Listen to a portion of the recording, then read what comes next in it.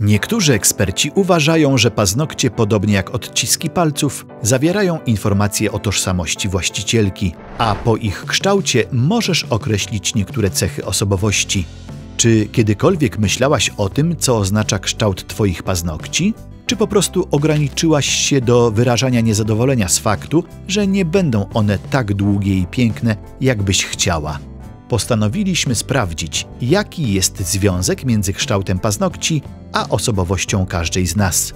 Zidentyfikowaliśmy również sześć kształtów paznokci: długie i prostokątne, małe i kwadratowe, długie i wąskie, krótkie i zaokrąglone, w kształcie migdałów i trójkątne.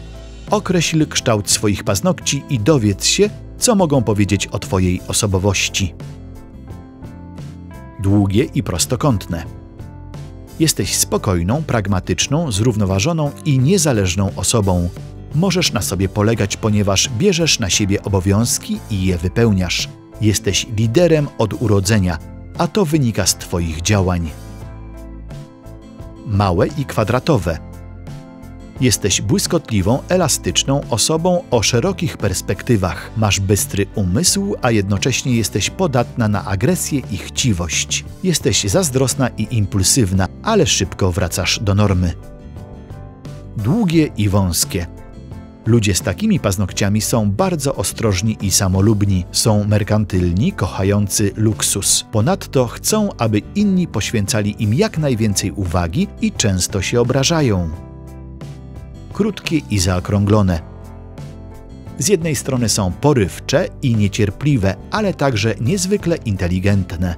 Im krótsze paznokcie, tym bardziej wymagająca jest ta osoba dla siebie i innych zawsze starają się iść własną drogą i są niepoprawnymi perfekcjonistami. W kształcie migdałów. Delikatne, miękkie i romantyczne dusze o idealnym wyglądzie. Lubią czuć się pomocne, są bardzo sentymentalne, delikatne i łatwo się obrażają.